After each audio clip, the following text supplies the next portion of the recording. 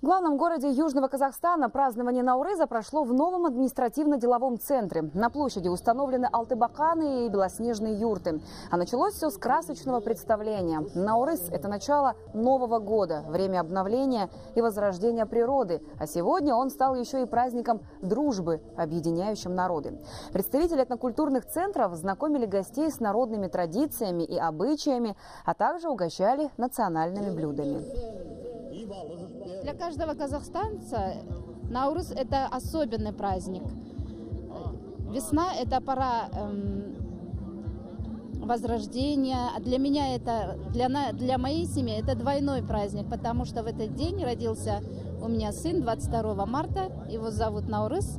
Он становится массовым праздником, потому что, да, сначала вот как бы его просто отдельно в семьях а вот, э, встречали, а сейчас все массово выходят на площадь и вместе встречают этот праздник. Мне кажется, он с каждым годом молодеет, этот праздник.